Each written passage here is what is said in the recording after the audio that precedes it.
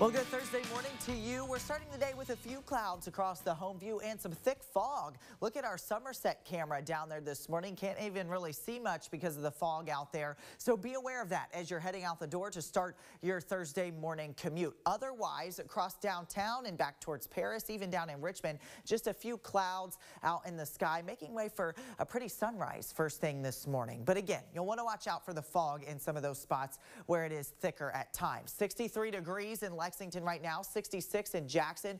It's 61 in Hazard, 63 in London, 59 right now in Williamsburg, and 62 down in Monticello.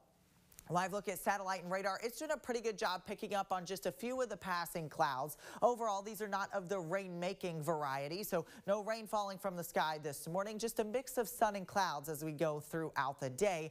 And the Futurecast does a pretty good job of showing that scenario. Notice later on this afternoon, it tries to pop up an isolated shower. I really think that threat is very low. It's not zero, but it is very low. As we roll into the overnight, skies will start to clear out. Well, once again, Watch for some patchy fog developing in those typical spots where we see the foggy conditions overnight tonight. And then as we roll into your Friday, high pressure here over my shoulder is going to dominate and bring us mostly sunny skies with just a few passing clouds in the afternoon on your Friday. But the bigger story rolling into Friday and Saturday is going to be the heat that makes a return.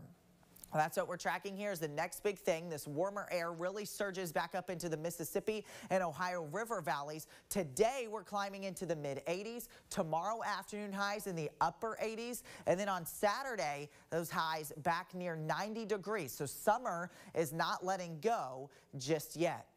Again, afternoon highs today area wide. We're in the mid 80s here in central Kentucky. Some areas still in the low to mid 80s. Overall, though, above average for those highs today and really for the next couple of days. Overnight lows tonight back in the lower 60s out in eastern Kentucky, upper 50s. Your seven day forecast looks like this. Again, a mix of sun and clouds today. The small chance for an isolated shower. Most of us are dry. We're heating up into the weekend and even for the first official day of fall on Sunday, it's still feeling like summer. Rain and storms return, though, on Tuesday and into Wednesday. That'll help drop back those temperatures.